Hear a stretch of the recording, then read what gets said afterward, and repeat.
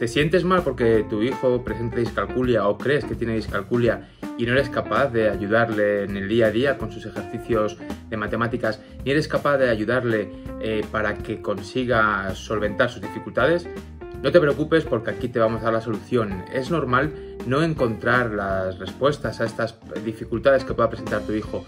Soy Juan José Millán, soy maestro, soy licenciado en psicopedagogía y soy director de Área 44 Servicios Educativos y te voy a explicar en este vídeo las cuatro dimensiones que forman parte o que producen estas dificultades de manejo numérico, que son las dimensiones verbal, la dimensión no verbal, la dimensión visual y la dimensión frontal. Esta última, una de las más importantes. Vamos a poner la pizarra y te lo voy a explicar muy rapidito y de forma muy sencilla. Vamos a ello. La discalculia presenta una importante base orgánica y ese es el motivo por el cual se va a hacer imprescindible un estudio eh, neuroanatómico y también en base a las áreas cerebrales que están implicadas en las dificultades numéricas. Para dar cuenta de, de estos aspectos se han realizado diversos estudios. En ellos se ha estado observando el consumo de glucosa que se producía en las diferentes áreas cerebrales cuando se llevaban a cabo diferentes actividades relacionadas con la parte numérica. A, través de muchos estudios se han podido observar que existen cuatro dimensiones bien diferenciadas y que están muy relacionadas con todas las dificultades que vamos a encontrar en, el campo, en, los campos numéricos. Estas dificultades nos van a dar una explicación muy clara de dónde tenemos que trabajar y qué es lo que tenemos que hacer para poder recuperar, para poder reeducar una, una discalculia de una forma apropiada sin tener que generar esa situación de frustración a la que llegamos muchas veces con los niños cuando les hacemos hacer muchas sumas, muchas multiplicaciones, muchas restas y ese no es el real problema ni es el motivo por el cual están teniendo una, una dificultad en el manejo de los números. Vamos a analizar cuáles son estas dificultades y vamos a ver cuáles son estas dimensiones. La primera de ellas es la dimensión eh, verbal numérica. En esta dimensión vamos a ver diferentes zonas cerebrales que son muy importantes, que son estas que están aquí coloreadas. La primera de ellas es el área de Wernicke. Ahora vamos a ver cuál es eh, la función y cuál es el uso de cada una de ellas. Tenemos también el área de Broca, que también es realmente importante, que es la que está coloreada en azul. Tenemos eh, también el, ciro angular, eh, que también es realmente importante. Ahora vamos a ver. Tenemos el giro supramarginal, que también presenta una importancia extraordinariamente elevada, y la corteza auditiva primaria. Cuando hablamos de la dimensión verbal, numérica, de esta dimensión tan importante, lo que estamos haciendo referencia es por una parte a esa área de Wernicke, en la que se va a llevar a cabo la comprensión del lenguaje, tanto hablado como escrito en todas las ocasiones. Y esto es realmente importante porque es donde vamos a poder comprender todo lo que, toda la transmisión verbal que se produce acerca de lo relacionado con los números. Obviamente también con cosas no relacionadas con los números, con el lenguaje en sí mismo, pero para el concepto y para el punto numérico es de gran relevancia. Por otra parte tenemos el área de Broca. El área de Broca nos va a ayudar, es esta que está coloreada en azul, y nos va a ayudar a comunicar las ideas con precisión. Vemos aquí estas respuestas que muchas veces pueden ser numéricas que no son ajustadas a lo que se solicita, que damos una respuesta a un problema totalmente diferente, vemos la, dificultad que tenemos para poder hacer una operación y dar una respuesta correcta asociada luego a, aquello que se estaba eh, solicitando en el ejercicio en cuestión. Por otra parte, tenemos también el giro, el giro angular, que es de gran importancia a la hora de interpretar y procesar códigos. ¿Veis? Aquí está una de las claves por las cuales los símbolos de, suma, de resta, de multiplicación o no se entienden o se confunden constantemente. Suele ser por errores, en el giro angular. La otra parte que realmente es importante es el giro supramarginal, el cual es el responsable de la lectoescritura. Va a permitirlo y va a facilitarlo. Son dos cosas realmente importantes.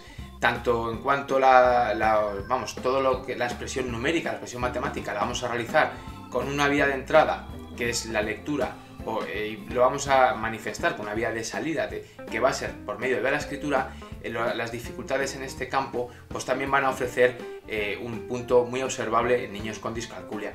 También tenemos la corteza auditiva primaria, es esencial, esta sería la parte más auditiva. En este aspecto procesamos la información auditiva, no escuchamos, escuchamos por otra parte, ¿no? Es decir, tenemos ahí nuestros órganos sensitivos, que son los que nos van a dar información, tenemos todos los, conductos que van a llevar la información a nuestra corteza auditiva primaria y ahí es donde se va a procesar, donde se va a integrar esa información y luego posteriormente se va a emitir una salida de esa información. Por tanto, este es otro punto realmente importante. Estamos escuchando bien los números y esto no es oímos bien o oímos mal, sino procesamos bien la información o la procesamos de forma errónea. Son cuestiones muy diferentes que también hay que valorar, que es muy importante. Esto sería lo más importante acerca de la dimensión verbal eh, numérica que tenemos que tener en cuenta, porque estos son los cuatro puntos en los que nos tendríamos que centrar. Cómo comprender bien el lenguaje, cómo comunicar con precisión las ideas que queremos hacer, interpretar correctamente esos códigos, en este caso el lenguaje matemático, permitir y eh, facilitar la lectoescritura, tanto en entrada como en salida, y procesar de una forma correcta la información auditiva.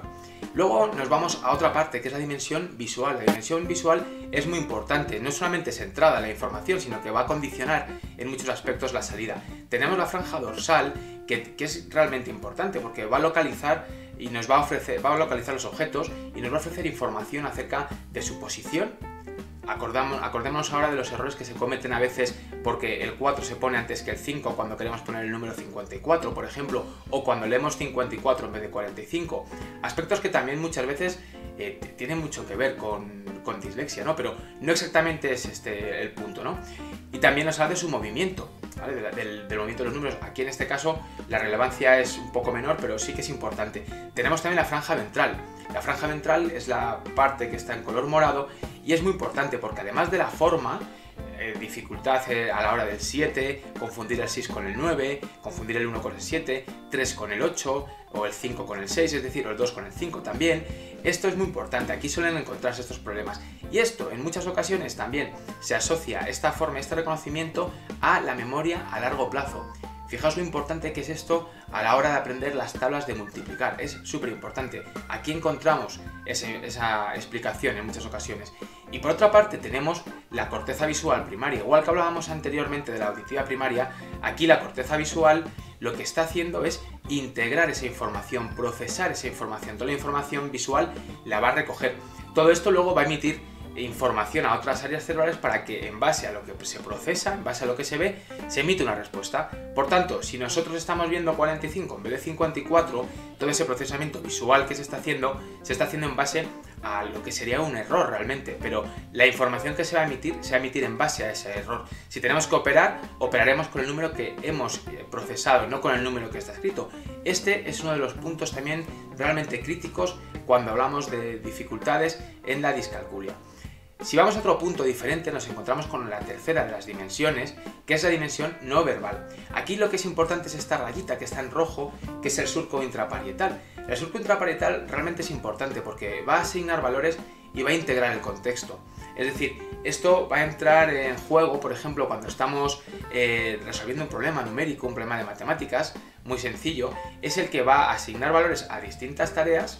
Por ejemplo, pues si tengo que sumar 2 eh, más 2, o 2 más 5 o 7 más 8, lo que tengamos que sumar, es el que va a asignar esos dos valores y el que va a integrar esa operación para obtener el resultado que pretendemos. ¿no? Por tanto, es muy importante también trabajar en estas zonas no verbales que son realmente importantes. ¿no? Por último tenemos la dimensión frontal. La dimensión frontal es una de las más importantes en este aspecto. Obviamente todas tienen mucho peso, pero esta tiene un peso que, tenemos que trabajar muchísimo en ella. Es una de las áreas que más se estimula durante la intervención psicopedagógica y esta eh, se parte de... Vamos a hacer un repaso muy, muy rápido de esta parte frontal porque podríamos hablar durante horas de ella. Vamos a centrarnos en estas tres zonas que hemos marcado en colores verde, amarillo y azul y vamos a ver simplemente que cuando se integran las funciones de estas tres áreas, lo que estamos trabajando son tareas de monitorización, tareas de manipulación de la información que se ha generado de forma interna, es decir, que yo la he construido en base a lo que he hecho en mis áreas verbales, en mis áreas visuales, en esas dimensiones que estábamos viendo anteriormente y en esas no verbales. Esa información es la que yo monitoreo, es la que voy revisando constantemente y la que voy a manipular a nivel cognitivo. Si veis en el otro vídeo que hemos hablado inicialmente de discalculia, vais a ver la importancia que tiene la memoria de trabajo en todo esto, y aquí tiene un peso realmente importante. Cuando se activan estas dos otras áreas, la que está en color azul y la que está en color verde, lo que estamos realizando es la misma tarea, exactamente la misma, pero la que se genera a nivel externo. Por los sentidos, la que percibimos por los sentidos, la que genera en base a contextos que estamos percibiendo también, ¿no? Eso también es importante. Y finalmente, la que se genera cuando se activa el área de color azul, bueno, pues es el mantenimiento de los ítems, que es esa operatividad, esa parte de memoria de trabajo tan importante, el mantener ciertos ítems para poder operar. Importancia de esto determinante en el cálculo mental, en recordar números, etc. Por eso esta, esta zona es muy importante. Sin entrar en más detalle, sí que es importante que nos quedemos con el recuadrito negro que tenemos ahí arriba, en el que se habla de, tareas tan importantes como la planificación, el poder planificar, estructurar un orden, una secuencia de trabajo para llegar a un fin, estableciendo un trabajo con una meta, el establecimiento de metas es una parte de la planificación también, ¿no? La monitorización, como hemos hablado antes, todas las tareas de flexibilidad cognitiva, eh, todo lo que es de la memoria de trabajo, de esto ya hemos hablado en otros vídeos y también en nuestro blog tenemos numerosos artículos al respecto, no me centro mucho en ello porque si no este vídeo se hace interminable y no vamos directamente al tema numérico, ¿no? También tareas de corrección, aquellas tareas relacionadas con la revisión, también tenemos las tareas de inhibición, en el primero de los vídeos que uno de los grandes problemas que nos encontrábamos eran los relacionados con la inhibición en los niños, ¿no? A la hora de dar respuestas irreflexivas y respuestas ciertamente impulsivas, ¿no? Pues esta es la parte contraria a la respuesta automática. La respuesta automática es cómo reacciono yo ante un estímulo, reaccionar siempre hacia, hacia ese estímulo, casi como un pequeño condicionamiento. Bueno, pues esto en muchas ocasiones es positivo, porque cuando vemos el más sumamos, pero en otras ocasiones es negativo, porque a veces cuando los niños leen eh, cuántas pelotas me quedan o cuánto dinero he ganado, lo que sea, siempre tienden a sumar, a veces de forma automática, o a restar o a multiplicar en función, es decir, establece una respuesta automática en base a un enunciado que leen. Y esto es algo que tenemos también que trabajar, que se trabaja en base a la inhibición. Es un campo que hay que valorar también, que es importante verlo y que no siempre se valora cuando se habla de, de procesos de discalculia. Y por último, quería comentaros cómo se hace la intervención psicopedagógica, cómo llevamos a cabo la intervención psicopedagógica. Es muy sencillo, acabamos de describirlo todo. Una buena valoración tiene que completar el resumen de estas cuatro dimensiones que hemos visto, centrarse también en la dimensión auditiva de forma implícita porque realmente es importante obtener esa información y estimular todos esos campos, todas esas áreas que hemos visto que son tan importantes y que tanta información nos van a dar. Es, muy importante que se trabaje todo esto porque em, cuando realmente nos ponemos a trabajar en, un proceso de discalculia, en un niño que tiene discalculia, las discalculias pueden recuperarse y se pueden recuperar muy bien.